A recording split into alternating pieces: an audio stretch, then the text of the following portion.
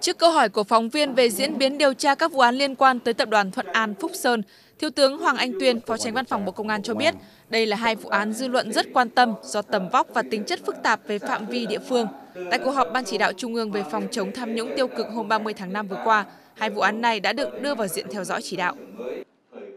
Tại cơ quan điều tra Bộ Công an đã tạm thời thu giữ một số tài khoản tương đối lớn, đó là trên 300 tỷ đồng, gần 2 triệu đô la Mỹ, trên 500 lượng vàng và trên 1.000 cái cuốn sổ đỏ khác nhau. Hiện cơ quan cảnh sát điều tra Bộ Công an đang tập trung củng cố tài liệu chứng cứ làm rõ hành vi sai phạm của các bị can và các đối tượng có liên quan, mở rộng điều tra vụ án thu hồi tài sản bị thất thoát chiếm đoạt.